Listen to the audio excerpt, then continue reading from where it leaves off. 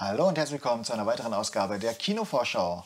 Heute wollen wir euch zeigen, welche Filme denn am 26. Mai starten. Das sind wieder elf Stück und wie viele davon interessant sind oder zumindest für uns interessant sind und was eher so in die Abteilung, ach, brauche ich jetzt nicht unbedingt gehört. Ja, das schauen wir uns einfach mal an. Ich habe nach der Sichtung von ein paar Trailern sogar eine Top 3 rausgefunden, wo ich sage, die würde ich mir sogar alle angucken. Nils, wie sieht es bei dir aus? Oh, ich fand es schwierig. Ich fand es echt schwierig. Ich war jetzt eher so, also mein Platz 3, von dem ich tatsächlich davon ausgehe, dass er dein Platz 1 sein wird. Ähm, der ist da eigentlich nur drauf, weil mich alles andere noch weniger interessiert. Und zwar habe ich auf der 3 Top Gun Maverick. Ist natürlich mein Platz 1, ja. Ich muss dir ehrlich sagen, ich weiß nicht, was das soll. Ich weiß wirklich nicht, was das soll, warum da jetzt eine Fortsetzung von kommt. Und was mich am meisten stört daran, ich fände das ja noch interessant, weil der ursprüngliche Top Gun-Film ist ja sehr, der heroisiert ja sehr, was die da machen. Mhm. Und ich würde mir jetzt gerne einen Film angucken, wo diese heldenhafte Figur des Maverick dekonstruiert wird. Aber wenn ich mir den Trailer angucke, dann muss ich ja sagen, der hat sich ja nicht verändert. Der ist ja in 30 Jahren nicht erwachsener geworden als damals und daher, daher einfach keinen Bock drauf. Aber alles andere ist Schon noch schlimmer, 40, deswegen ja. ist er auf Platz 3. Schon fast 40, oder? Der, kam ja, der erste Teil kam, glaube ich, 1986 raus. Es ist schon, schon ein bisschen, oder? War es 86, 88? Jedenfalls hier Ende der 80er kam der raus. Mhm. Äh, geht natürlich wieder um Maverick, der jetzt ähm, allerdings nicht mehr selbst richtig fliegen soll, sondern wenn ich das richtig äh, mitbekommen habe, soll er jetzt äh, Lehrer sein bei so einer Eliteflugschule und dann halt quasi die Leute so ein bisschen ausbilden. Ähm, man muss aber sagen, die Kritiken bisher von den Leuten, die den Film schon gesehen haben, die sind durchwegs eigentlich eher positiv gestimmt. Ne? Die sagen, ey, das ist schon, schon ein cooles Ding. Ist halt die Frage, was man erwartet. Das ist immer so die das größte Manko. Ne? Wenn man jetzt natürlich irgendwie ein Drama erwartet, wird man mit Top Gun keinen Spaß haben. Wenn man allerdings ein bisschen Flieger-Action sehen möchte, dann ist man, glaube ich, da ganz gut dabei. Ja. Jetzt, warte mal, ich lese gerade den Text zum ersten Mal durch hier, aber äh, bla bla bla bla bla, Nuklearprogramm eines fremden Landes muss gestört werden, bla bla bla bla bla, also der Standard. Irgendein Land ist böse und jetzt brauchen wir natürlich die Topflieger, die dann quasi das Land äh, in seine Schranken weist. Ja, weißt du, und, aber es ist dann auch, alles, was ich sehe in dem Trailer, jetzt mal abgesehen von der Action, die wirklich ganz gut aussieht, alles andere ist aber sowas von 0815. Alleine schon dieses, wenn ich dann Miles Teller da sehe, der dann so, ja, mein Vater hat dir vertraut und da ist verkackt und dann weiß ich aber, er und Maverick, die werden sich natürlich äh, im Laufe des Films dann zusammenraufen und so. Es kotzt mich einfach an, muss ich ehrlich sagen. Ja, das, was ich bei diesem Film sehen will, ist die Flieger-Action und ich denke, die bekomme ich auch. Ja, aber da sind wir. Das ist wirklich das, was man erwartet. Da sind wir wieder bei unserer ewigen Diskussion, was wollen wir eigentlich im Kino sehen? bei den Filmen möchte ich jetzt keine große innovative Story. Ich glaube, die kriege ich auch nicht. Ja, ne? also das äh, wird dann nicht der Fall sein. Da möchte ich einfach nur da sitzen und denken so, boah, geil, also das sieht richtig cool aus. Dann sag mir mal, was dein Platz 3 ist äh, etwas gemütlicher. Und zwar Alles in bester Ordnung ist mein Platz 3. Den habe ich auf der 2. Geht, ist bei dir auf der 2. Geht um die 54-jährige Marlene, die. Hast du den Trailer gesehen? Ja. Äh, ist schon fast so Messi-mäßig. Also die ja. sammelt ganz viele Dinge, weil sie immer denkt so, ah ja, die kann ich ja irgendwann noch mal gebrauchen. Die kann ich ja vielleicht irgendwann noch mal verschenken. Die kann sich halt einfach von Dingen nicht trennen. Und dann haben wir auf der anderen Seite den 32-jährigen äh, Finn, der einfach nur aus dem Koffer lebt. Weißt du, der reist so ein bisschen durch die Gegend und hat eigentlich nur das, was er braucht, in seinem Koffer drin. Und ähm, er braucht, glaube ich, so eine Bleibe und können sie natürlich am Anfang nicht leiden, aber sie kommen dann irgendwann überein, alles klar, du darfst bei mir bleiben, dafür musst du mir helfen, zeuglos zu werden. Wie schaffe ich es, unser zeuglos zu werden? Und das fand ich eigentlich eine charmante äh, Geschichte. Also mhm. so, dass ich sage, okay, das würde mich interessieren. Ne? Ist auch immer so die Frage, wie viel brauchen wir eigentlich? Brauchen wir jeden kleinen Kabüster oder kann man auch mit wenig eigentlich ein gutes Leben führen? Ja, ich muss ja sagen, ich habe ja beruflich immer auch mal mit Messis irgendwie zu tun und finde das thematisch irgendwie ganz interessant. Deswegen ist der Film bei mir dann relativ weit oben auch gelandet oder weiter oben als zumindest als Maverick. Auch wenn er natürlich schon sehr nach deutschem Drama mit ein bisschen Humor wirkt. Also so rein vom Production Value guckst du dir das schon an und denkst so, puh, weiß ich nicht, aber ich fand es halt auch thematisch irgendwie ganz spannend. Ja, aber ganz ehrlich, vielleicht konnten sie auch mit viel dann trotzdem noch, also mit wenig Mitteln quasi viel aus der Story so ein bisschen rausholen. Mhm. Weil es glaube ich kein Film, wo du relativ viele Effekte oder sonst irgendwas brauchst. Du brauchst einfach nur zwei Leute und ein bisschen eine Wohnung und ja, aber Nachbearbeitung und schön Findest du nicht auch, dass Deutsches irgendwie schaffen, die Kamera hinzustellen und du sagst, ah, das ist ein deutscher Film? Also obwohl, obwohl keine Effekte drin sein müssen, du siehst dem Ding sofort an, ja. das ist irgendwie ein deutscher Film. Ja. Wenn es ein, ein Til Schweiger-Film ist, erkennst du auch direkt einen Sepia-Look, den hat er immer drauf. Ja, man merkt schon relativ früh, alles klar, ja, nee, das ist ein... Aber man kann nie so richtig betiteln, woran das liegt. Ne, die haben wirklich eine andere Kameraführung drauf. Ein bisschen ja. einfachere, sag ich mal. Nee, aber kann ja trotzdem noch ein guter Film sein. So, dann darfst du jetzt deinen Platz 2 sagen, der wahrscheinlich mein Platz 1 sein wird. Meinst du? Mein Platz 2 ist die Täuschung. Ja. Spielt im Zweiten Weltkrieg, kurz vor D-Day und ähm, die Alliierten versuchen natürlich jetzt die Amis, äh, nicht die Amis genau, die, die Nazis ein bisschen hinters Licht zu führen und ähm, einfach davon abzuschweifen. Oh Gott, das richtige Wort. Abzulenken. Das fällt mir gerade. Abzulenken, das ist es. Abzulenken. Sie versuchen abzulenken und ähm, machen deswegen Täuschungsmanöver, um den Deutschen halt so vorzugaukeln, alles klar, wir machen irgendwas in Griechenland. Ne? Und äh, der Trailer sah echt sehr gut aus. Also ja. besser, als ich erwartet hatte. Ich habe immer noch nicht so hundertprozentig geschnallt, was die da genau machen. Aber ich fand, das war, sah alles ganz interessant aus. Ja, 100 Pro habe ich das aus dem Trailer jetzt auch nicht rausgekriegt. Aber die hatten dann irgendwie so einen Typen gehabt, der dann irgendwie so irgendwas spielen soll. Dann hatten sie irgendwie eine Leiche gehabt und keine Ahnung. Ja. Aber vielleicht kriegt man das im Film ja ein bisschen besser raus. Aber der Trailer an sich, schon allein von seiner Machart her, war schon interessant. Und ja. da ja auch so ein bisschen hier ist der Kriegsfilm, Drama, History, denke ich mal, dass da auch ein guter Part davon auf wahren Begebenheiten beruht. Wahrscheinlich nicht alles, weil das kriegen die ja nie hin. Und es wäre vielleicht auch, oh, weiß ich nicht, ob das so spannend wäre. Manchmal gibt es ja doch sehr spannende, reale Geschichten. Ja. Naja, und Colin Firth ist natürlich auch immer ein Gewinn. Hm, das stimmt. Also ich hatte Bock drauf, den würde ich mir angucken. Ich auch. Deswegen ja, bei mir die Eins. Ja, dann sind wir, glaube ich, schon durch. Ja. Mit unserer Top 3. Letzte Woche haben wir so lange gebraucht, weil jeder wirklich für jeden Platz was anderes hatte. Und diese Woche gab es halt mehrere Überschneidungen, die halt ein bisschen überkreuzt waren. Und jetzt ähm, ist die Frage, gab es noch einen Film, der dich noch so interessiert hätte aus der Auswahl? Es, es, gab einen, der hat mich noch interessiert, solange bis ich den Trailer gesehen habe. Und zwar ist das Die Bilderkriegerin. Mhm. Was eine Dokumentation ist über eine Kriegsberichterstatterin, die halt ähm, anscheinend irgendwie ein gewisses Faible für Afghanistan auch hatte und da spoilert man jetzt ja nicht, die dann auch dort bei einem Anschlag getötet wird.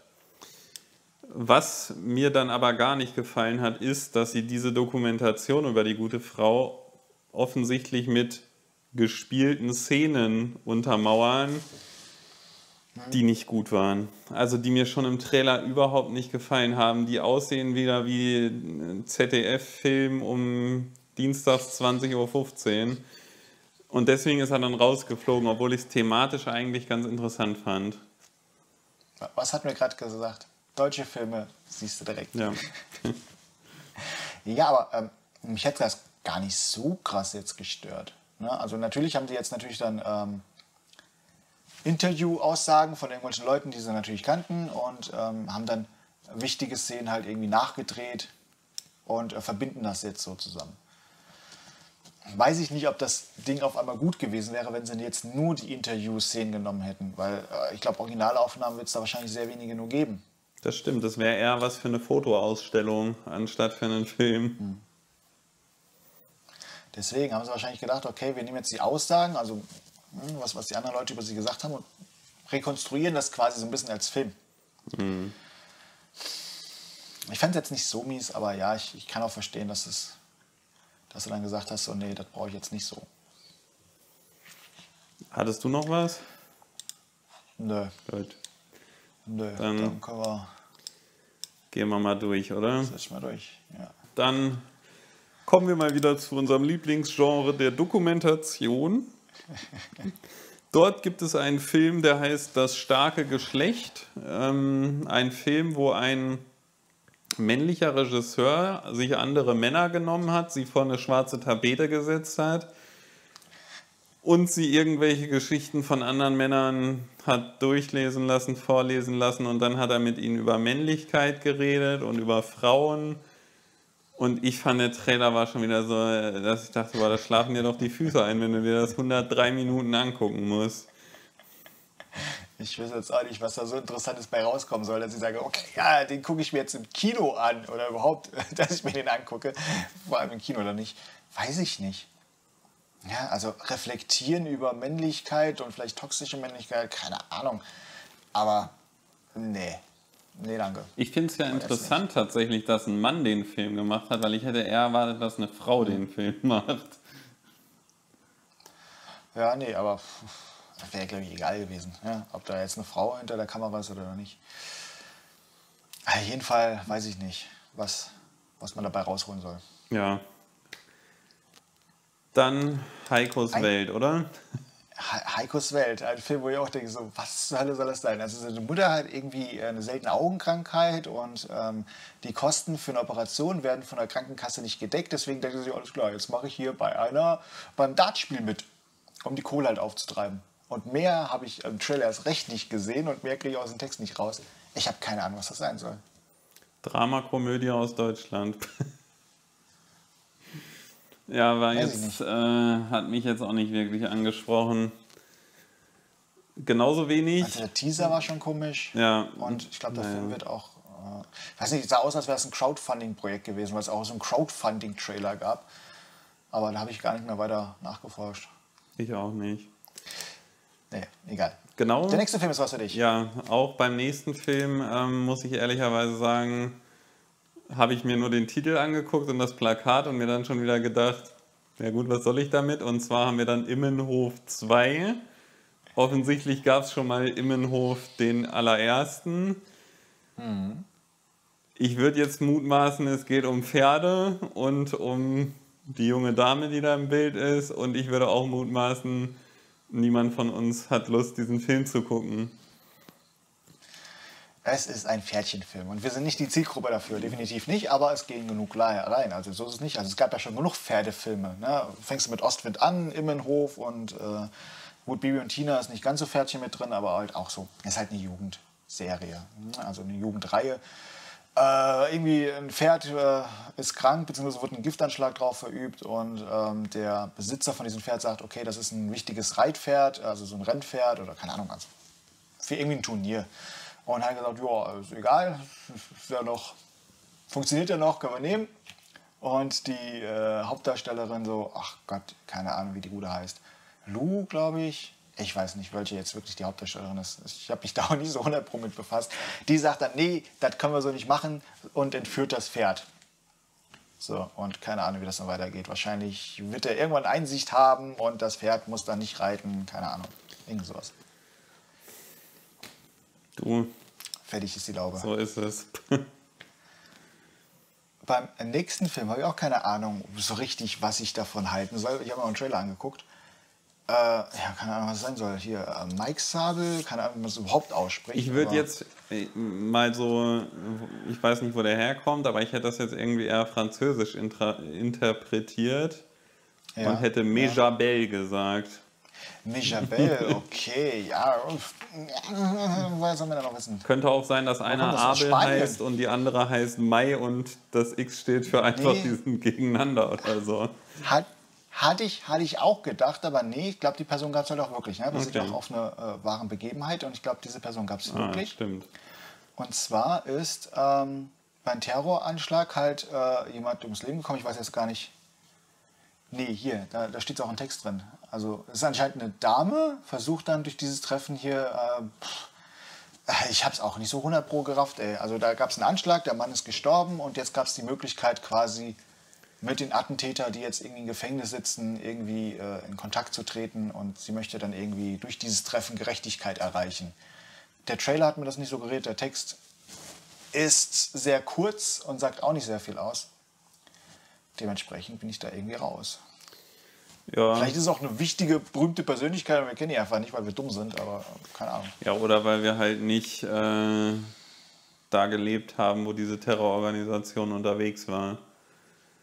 Das ist ein spanischer Film, ich gehe mal von aus, das ist Spanien. Also der Trailer selbst war ja, glaube ich, auch nochmal auf Spanisch gewesen mit Untertitel. Oder was Italienisch? Keine Ahnung. Also Spanisch, Italienisch, alles dasselbe. Ich musste halt, ich muss halt wieder ehrlicherweise sagen, ich fand den von der Beschreibung her irgendwie ganz interessant. Aber ich habe dann den Trailer gesehen und fand, es wirkte alles so ein bisschen nach Fernsehproduktion. Ja, Fernsehproduktion und auf einfach auch der Trailer war nicht zusammenhängend, dass du sagen konntest nachher, ja, ja warum geht's denn eigentlich? Ja, das stimmt. Also keine Empfehlung war schwierig. von meiner Seite. Aber den nächsten guckst du doch bestimmt wieder an. Meinst du Mia and Me? Da, da habe ich mir ja, wieder nur klar. das Poster gesehen und direkt weitergeschaltet. Ist halt ein Kinderfilm. Mein Gott, Eric Cavanian spricht ein Einhorn. Also, was soll ich dazu groß sagen? Das ist jetzt wirklich nichts für mich. Äh, du, ich habe ich hab den Trailer gesehen, ich bin auch nicht so ganz. Also, es ist wohl an sich eine reale Person, die dann durch so ein Armband in diese komische Fantasy-Welt, Sentopia da kommt und dann ist irgendwie so ein fliegendes Vieh, was die Welt zerstören will. Und sie brauchen jetzt dieses sprechende Einhorn, um alle wieder gut zu machen. Ich habe auch nur die Hälfte gerafft, aber ganz, ich glaube, die Zielgruppe für diesen Film, die weiß, was da passiert. Ja, mir ist das sowas von wurscht. Mhm. das muss man alle sagen. Dann eine Dokumentation ist noch über, nämlich die Dokumentation Volksvertreter, wo der gute Filmemacher drei Jahre lang vier Politiker der AfD begleitet hat. Ich muss sagen, das fand ich eigentlich auch ganz interessant, aber der Trailer, Halleluja, der sieht wieder aus, als hätte sich da einer mit seiner Heimkamera hingestellt und hätte einfach mal draufgehalten. Also ich weiß nicht, ob der Film jetzt wesentlich besser ist, aber mit dem Trailer haben sich in meinen Augen überhaupt keinen Gefallen getan, weil das sieht halt wirklich aus, als hätte sich äh, Hans-Jürgen mit seiner VHS-Kamera da an den Straßenrand gestellt, wenn der AfD-Politiker vorbeiläuft. Also ich fand es echt furchtbar. ja, war halt, naja. Ich bin, ich muss ja gestehen, ich bin ja äh, politisch auch nicht unbedingt jetzt der größte Fan, also von, von Politik und sowas. Und die AfD, die brauche ich das Recht nicht. Also ja, aber gerade da finde ich es immer interessant, weil du würdest ja niemals oder ich würde nie im Leben auf die Idee kommen, der AfD meine Stimme zu geben. Finde aber immer ja. interessant, was sind das denn für Menschen, die sich in dieser Partei engagieren und was sind das denn für Menschen, die die wählen. Aber das, was ich da in dem Trailer gesehen habe, weiß ich nicht, hat mir jetzt nicht zur Erkenntnis gereicht. Also wenn sie dann diesen komischen Schmierlappen da hinstellen und der singt dann die Nationalhymne, ach, weiß ich nicht. Ich fand es eher befremdlich, was ich da gesehen habe. Ja. Ja gut, AfD halt. Wurde da nicht irgendwie so eine Messenger-Gruppe jetzt ja. hier geleakt von denen, wo die irgendwie das stimmt. schon richtig gut abgingen? Also die brauche ich einen Film nicht, brauche ich die AfD nicht. Und das war schon alles diese Woche. Dementsprechend, hey, bin ich eigentlich ganz froh, dass ich noch drei Filme zusammenbekommen habe, aber die drei würde ich mal halt angucken. Und äh, ihr habt natürlich auch noch die Möglichkeit, schreibt darauf mal unten in die Kommentare rein, welchen Film würde euch denn am meisten interessieren? Seid ihr da auch auf meiner Seite und sagt Top Gun, na, bisschen Action, das passt schon? Oder sagt ihr wie Nils, ach nee, das ist der ewige Pathos, jedes Mal dasselbe und außer Action kann er nichts bieten. Schreibt es einfach mal unten rein und schreibt doch einfach, wenn das so ist, auch nochmal dazu, welcher Film würde euch denn am ehesten interessieren? Dann sehen wir uns ja nächste Woche wieder für die Filme ab den 2. Juni. Jetzt muss ich kurz überlegen, was für ein Datum das ist. 2. Juni geht es weiter. Die ersten Filme im Juni. Und äh, was da so startet und ob da was Cooles dabei ist, das sehen wir dann nächste Woche. Bis dann, macht euch eine schöne Zeit. Haut rein. Ciao, ciao.